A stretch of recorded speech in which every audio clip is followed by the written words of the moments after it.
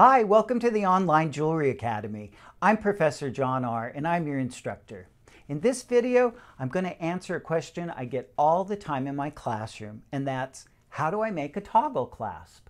Well, if you're new to jewelry making, let me explain first what a toggle clasp actually is. Now in front of me, I have a drawn chain, and this chain is shut with a toggle clasp. It consists of a little loop right here that's crossed by the toggle bar.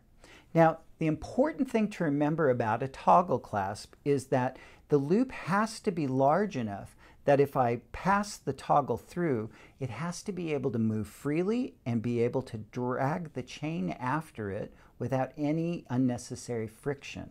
And once you pull it shut, it just is shut. It's also an attractive element that if the clasp happens to move to the front of your necklace while you're wearing it, if it ends up next to a pendant, say, it's going to look attractive. Now, let me show you what the toggle clasp it consists of.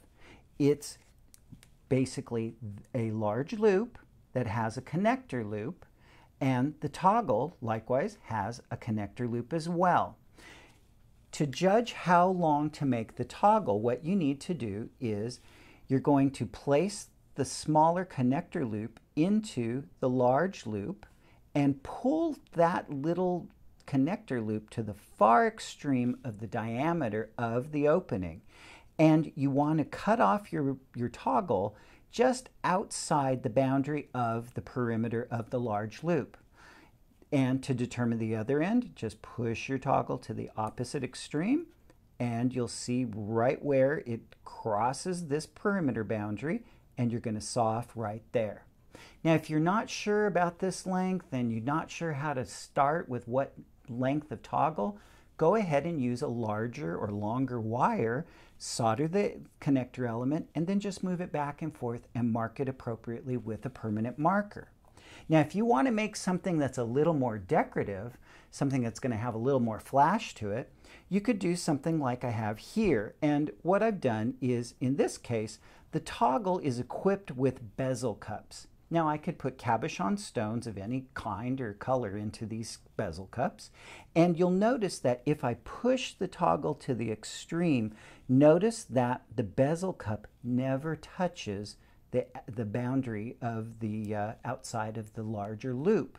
That way, the bezel cup will never wear because of touching that loop, which means that the bezel cup is going to remain solid and I'll never lose that stone.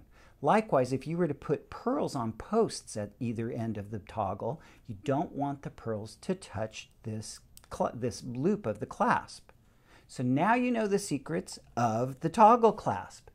The Online Jewelry Academy has plenty of videos in its playlist on our website at onlinejewelryacademy.com that cover things like how to twist the wire, how to make loops or jump rings, how to solder them together by using butt joints, or how to attach these bezel cups by using sweat soldering. And if you're interested in making a drawn chain, we have a paid course called Colorful Silver Jewelry that you can find on udemy.com. This is a comprehensive course that covers everything that a beginner needs to know to start making jewelry like a pro. You can also follow us on Facebook, Instagram, and Twitter.